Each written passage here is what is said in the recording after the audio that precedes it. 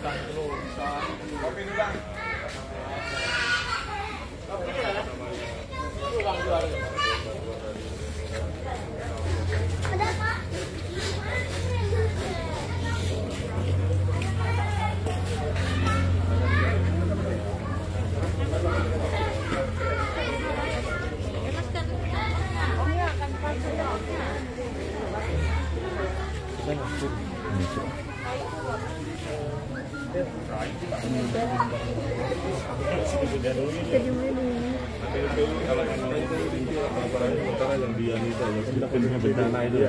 Nah gitu kan dari kita itu siap makasih bapak Lurah. Ini posko posko ini posko kebakarannya ini Bang. Bang, Bang, bisa tinggalnya di dalam bisa ceritain sedikit Bang. Di sini aja Bang, di sini aja Bang. Ini saya bersama wartawan senior ya di sini aja Bang. Bisa ceritakan sedikit Bang, ini bagaimana Bang situasi di sini Bang? Salam diswe untuk pagi hari ini eh, para korban sudah mana, apa, ada di tempat posko pengungsian khususnya pengungsian yang ada di sini eh, dari RT 38 di mana sebanyak 6 kakak dengan 23 jiwa eh, sejak semalam sudah menempati posko di SD SD berapa ini tadi? Eh, SD sini. Eh, sementara yang khusus di RT 46 informasi yang dapat saya himpun eh, dikoordinat dikoordinasikan dengan pihak PT Pertamina. Jadi memang eh, posko ini terbagi dua, ada yang dikelola Pertamina dan juga yang dikelola oleh Dinas Sosial.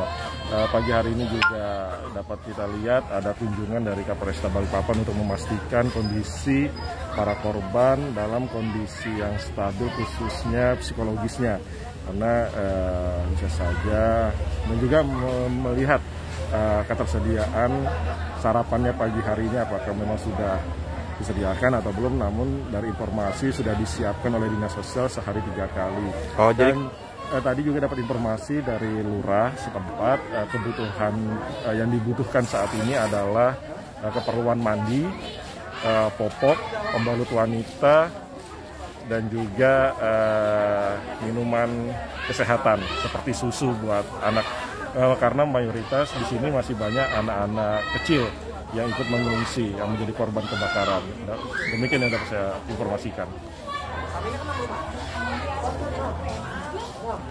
Takutnya.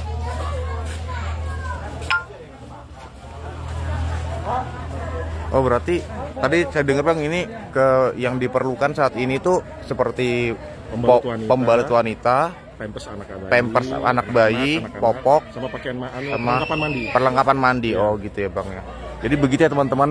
Jadi saya sekarang berada di eh, situasi eh, ini tenda darurat ya, tenda darurat yang disiapkan oleh Kemensos, eh, Kementerian Sosial gitu ya, eh, untuk eh, menampung sementara ya, menampung sementara eh, korban kebakaran. Sebentar saya akan lihat ke atas ya teman-teman. Sebentar saya akan lihat ke atas eh, bagaimana situasi kebakaran di atas. Apa ini? Apa itu? Oh sarapan.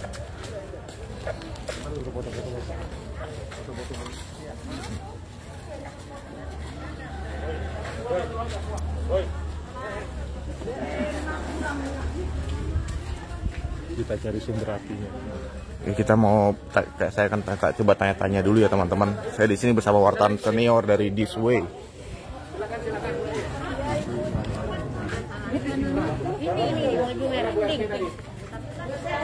Oh, kita coba tanya sama ibu ini eh, salah satu korban.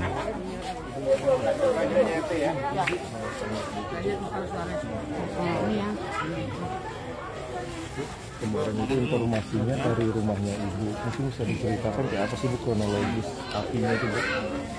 Saya di kemarin saya tidak ada di rumah, saya jualan, pilih jualan sayur. Kalau sore kemari baru aku turun di rumah, di rumah itu dibawakan saya nyuci pakaiannya kemanakan saya. Baru satu kali aku nyuci, ke- tiba-tiba katanya orang ada asap di atas. Di atas rumah ibu ya. Iya di atas itu. Pas si aku naik, aku untuk saya cepat-cepat naik ke landa, hancur aku dianiin orang. Di ibaratnya orang mau naik di atas kan ada tangganya. Itu aja saya seharian kemarin aku jalan sayur. Oh, di rumah ada siapa Bu kemarin? Enggak ada orang. Nggak ada orang. Iya, enggak ada orang. Seharian kemarin aku jualan sayur itu. Sore itu aku turun nyuci pakaian, kan sudah kurendam kemarin dulu. Itu aja saya enggak ada siapa-siapa di rumah. Bu, informasinya ada orang masak di rumah Ibu terus ditinggal gitu betul Pak Bu? Oh, enggak ada. Enggak ada orang di rumah. Enggak ada, enggak Oh, ada. ada orang di rumah ya Bu ya. Enggak ada orang di rumah. Enggak ada orang di rumah. Terus eh, Ibu sama siapa aja Bu menyelamatkan diri Bu? Oh, di di atas itu. Yang Ibu tinggalin itu Ibu sama siapa aja? Oh, aku tinggal sendiri di rumah itu, tapi eh, kan ada kakakku di bawah. Hmm. Sehingga saya itu jual-jualan sayur ke para hari ini saya keliling dipegang. Kemarin saya jualan sayur di lapangan situ, baru sekalinya ada orang mau bangun mau anu itu, saya pindah ke tempat lain sorenya itu kemari saya turun nuki saya antarkan sayurku di rumah baru saya turun nuki di bawah kan tingkat di rumah itu. Itu aja ndak ada orang ndak ada siapa-siapa. Dari rumahnya Ibu ada yang bisa diselamatkan nggak Bu? oh ndak ada. Nggak ada sama sekali Bu ya? cuma dah Cuma baju aja. baju di badan aja iya Tinggal baju di badan ya Bu ya. tinggal baju di badan tapi sudah dibuka juga soalnya siram-siram orang basah semua saya nggak dibuka kemarin ini Bu, itu rumah sendiri atau rumah kontrak Bu? oh, rumah kakakku Rumah kakak Bu ya. Ibu siapa namanya? oh Nana Usia berapa Bu? sudah 64 64 Empat kan? Empat dua. Enam dua mama. Ya, anak berat Oh, enam rasanya dua. Di.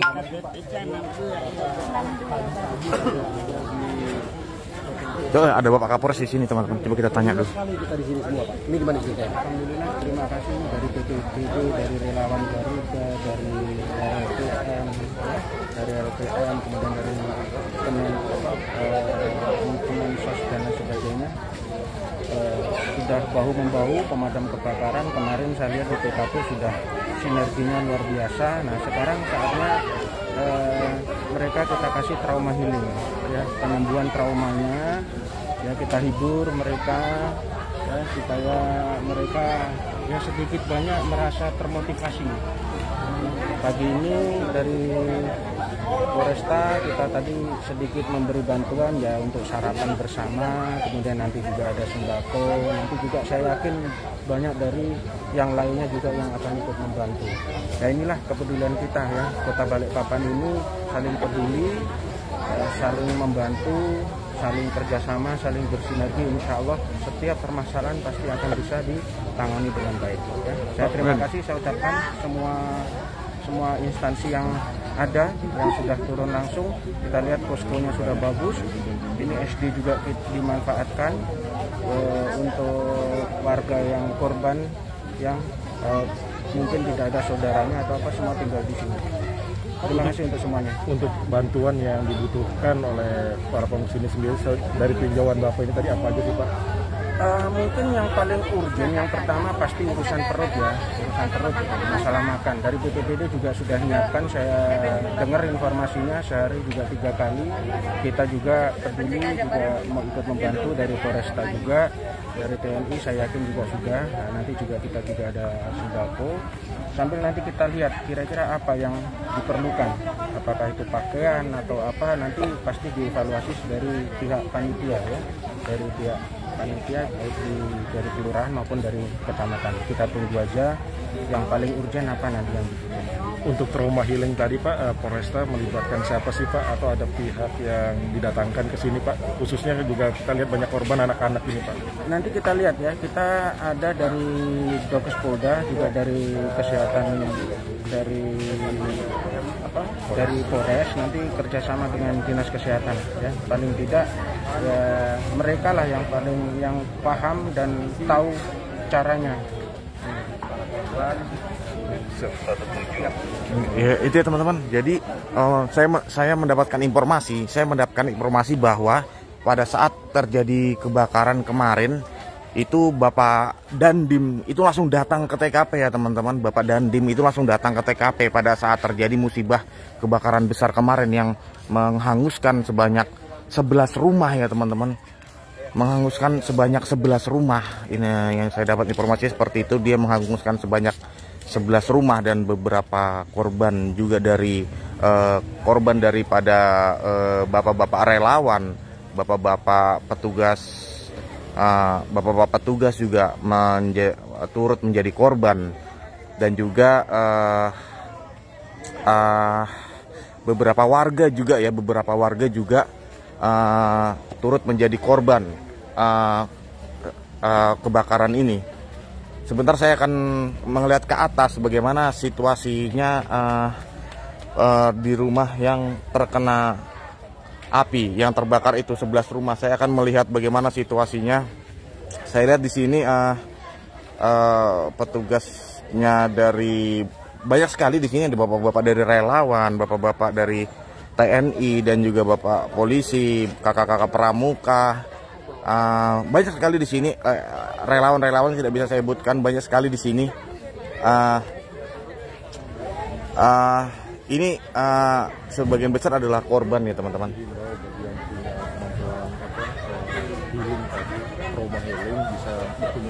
Oh iya. Oh iya teman-teman, begini ya teman-teman. Uh, uh, saya dapat informasi dari wartawan senior ya dari Diswe Kaltim, dari Diswe Kaltim uh, dihimbau kepada rekan-rekan uh, uh, yang mempunyai kemampuan untuk khususnya trauma healing ya, untuk khususnya trauma healing dapat uh, membantu di sini. Sama-sama kita membantu di sini karena di sini terdapat banyak sekali anak-anak kecil yang terdampak karena musibah ini kalau kita lihat banyak sekali uh, banyak sekali eh, anak-anak uh, yang uh, apa terdampak karena musibah kebakaran ini tadi saya, saya lihat ini tim dari Polres Balikpapan nih kalau tidak salah ini ya sudah membawa sarapan dan juga tim dari BPBD juga ada di sini. Dengan sarapan seadanya ya teman-teman. Uh, uh, korban kebakaran dengan sarapan seadanya mereka uh, datang ke sini. Uh, saya cukup sedih ya teman-teman. Saya cukup sedih. Uh, ini merupakan tempat istirahat buat uh, di tenda saya akan masuk ke tenda pengungsian ini saya berada di dalam tenda pengungsian ya teman-teman jadi seperti inilah tenda pengungsian yang ada di sini di sini sudah terdapat uh, beberapa tempat tidur gitu ya atau bed cover gitu ya. Aku nggak tahu bahasa uh, Jermannya apa, yang aku tahu namanya tempat tidur bed cover gitu. Ah, di sini juga sudah berdatangan ya bantuan-bantuan seperti uh, beras apa segala macam. Dari mana ini beras? Coba kita lihat. Coba lihat beras dari Oh dari Polres. Oh dari Polres beras. Saya berada di salah satu uh, tenda pengungsian juga ya teman-teman. Saya berada di salah satu tenda pengungsian yang di sini dari dapur air begitu ya dari kakak-kakak dari relawan Garuda dan Tagana. Uh, banyak sekali relawan di sini ya teman-teman banyak sekali uh, kakak-kakak relawan ini membuktikan balik papan itu jiwa sosialnya tinggi banget ya teman-teman Ah. Saya, saya teman-teman yang anu uh, mempunyai uh, ada uh, ilmu buat trauma healing, khususnya buat anak-anak, buat anak-anak ya teman-teman karena kalau saya lihat di sini uh, situasi terkini sangat uh, butuh ya teman-teman. Butuh uh, butuh untuk bantuan seperti itu.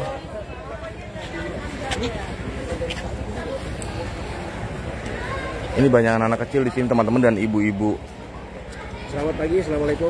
Ibu 07 bersama si boy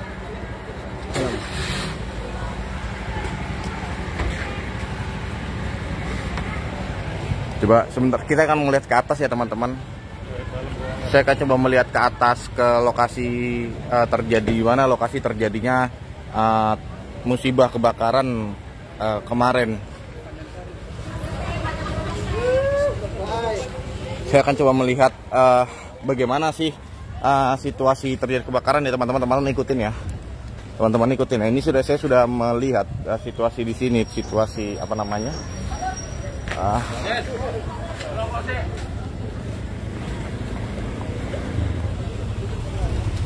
Saya lupa taruh motor di mana lagi. Oh di atas ya. Saya taruh motor di atas. Saya coba uh, melihat uh, situasi kebakaran ya teman-teman. Saya akan melihat uh, mengajak rekan-rekan sekalian melihat situasi uh, musibah pasca kebakaran di tempat di, di mana musibah kebakaran itu terjadi. Ada di atas ini ya teman-teman. Ini menghanguskan uh, 11 rumah. Cukup banyak sekali ya. Inilahi wa inna ya kita turut berduka cita semua teman-teman tadi yang punya uh, uh, popok bayi ya, popok bayi, baru apalagi yang diperlukan tadi popok bayi, baru uh, eh tadi apa aja om popok bayi, pembalut wanita pembalut sama anu, ibu-ibu perlengkapan sama mandi. perlengkapan mandi. Oh ya. Ini ya teman-teman di sini uh, lokasi terjadinya kebakaran tadi malam. Cukup tinggi gunungnya ya. Ini lokasinya terjadi kebakaran tadi malam, eh tadi malam kemarin sore seperti itu. Sudah dipasang garis kuning. Sudah dipasang garis kuning seperti itu, teman-teman.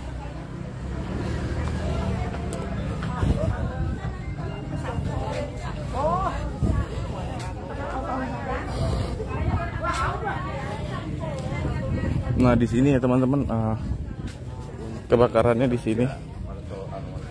Ini seperti Ini ya teman-teman ini kebakaran ya teman-teman ini tadi malam habis. Kemarin habis terbakar di sini. Sebentar, capek aku, Po. Poskonya ini di mana? Di eh, di Gunung Polisi tahu tau lah kamu ke Gunung daerah Gunung Polisi itu kamu ada di mana posko kebakaran tahu udah itu orang-orang situ.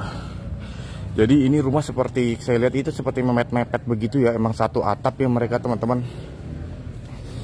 Mereka itu satu atap gitu terus terbakar. Dan di atap sini saya ada beberapa rumah seperti itu yang sudah dikasih eh, apa garis garis kuning ya kita dilarang melintas ke dalam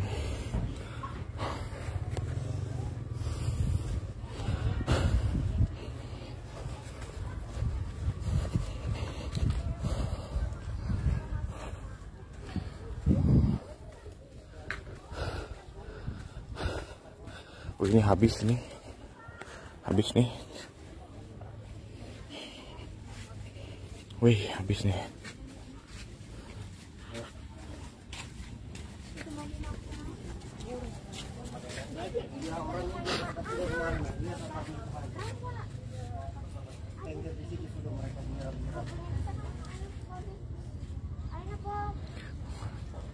Ya ini ya teman-teman ah situasi terkini di uh, Balikpapan Barat ya pasca kebakaran kemarin yang menghanguskan 11 rumah ya teman-teman. Ini habis semua teman-teman kasihan. Habis semua. Habis semua ini sudah barang-barang seperti ini sudah habis. Habis. Sebentar ya, siapa nih telah membagikan ini? Silva Anggriani telah membagikan postingan ini. Semoga warga yang kena musibah diberi ketabahan, kesabaran, dan semangat untuk semua. Jangan menyerah, saya berdoa yang terbaik buat kalian semua. Dari Sylvia Anggriani. Kalau lihat saya, uh, ini masih ada sisa-sisa uh, apa ya, uh, bekas kebakaran. Ini bukan, aduh, parah habis ya teman-teman. Ini habis ya rumahnya ya teman-teman.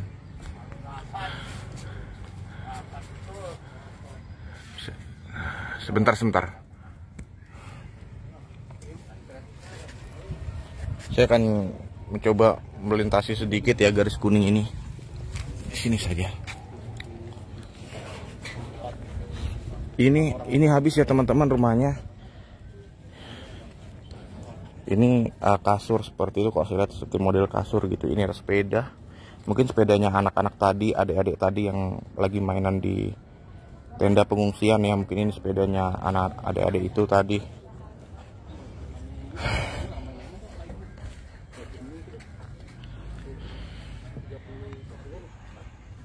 Siapa nih yang membagikan? Ini siapa nih? Na Nandar Zen na namanya rumah bangsal peninggalan zaman Belanda. Iya kah?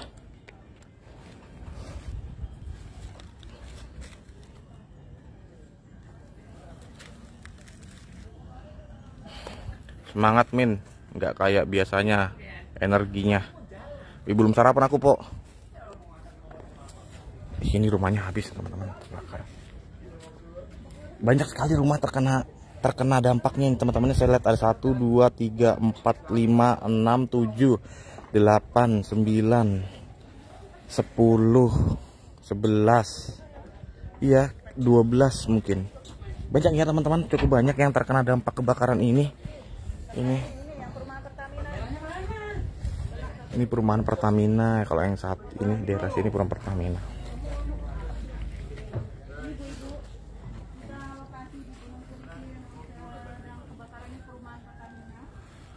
korban jiwa nggak ada kah Min? Ah, sementara saya belum mendapatkan informasi tentang korban jiwa ya teman-teman.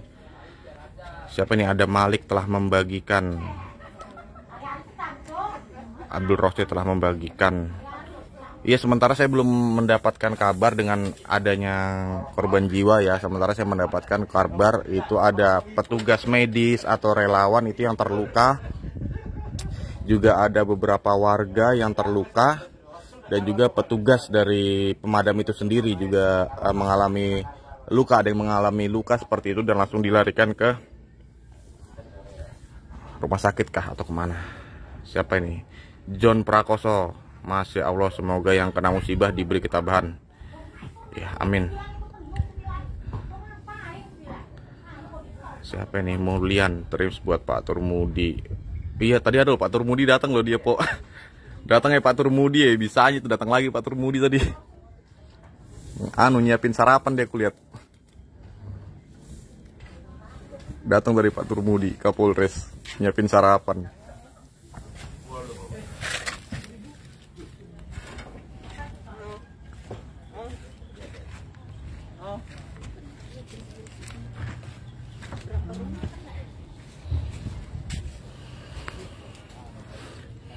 Ini komentarnya ada yang panjang nih.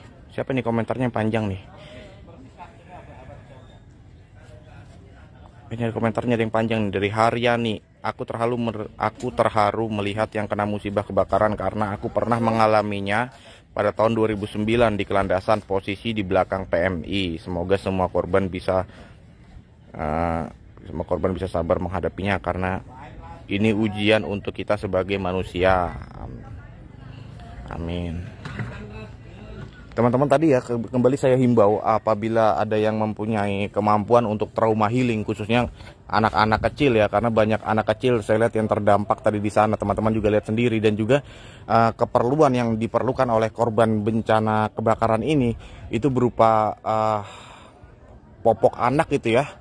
Popok anak popok anak terus eh, eh, peralatan mandi juga diperlukan dan juga eh, makanan. Makanan terutama juga tadi bilang bapak itu makanan makanan diperlukan. Dan juga peralatan mandi dan juga popok bayi ya teman-teman. Teman-teman bisa langsung datang ke poskonya saja dekat saja. Ini ber- ber- ini kebakarannya di sini poskonya di bawah sana ya dekat saja ya teman-teman lokasi di mana ini Min? Di lokasi kebakaran kemarin ya di gunung apa di kebun sayur itu daerah gunung polisi itu loh. Daerah gunung polisi. Ya teman-teman eh, sekian dulu ya teman-teman ya. Saya laporkan rumah padat penduduk kasihan dari merembet sampai ke bawah Emmanuel Rasi John Joseph. Iya teman-teman ini perumahan padat penduduk sekali nih kalau saya lihat ini sangat padat ini di sini jadi eh, musibah ini me- mengenai 9 eh 11 rumah 11 rumah yang terkena dampaknya kebakaran ini. Ya demikian dulu saya laporkan dari eh, lokasi pasca kebakaran di Balikpapan Barat, Kalimantan Timur. Tetap sehat, tetap gunakan masker. Assalamualaikum warahmatullahi wabarakatuh.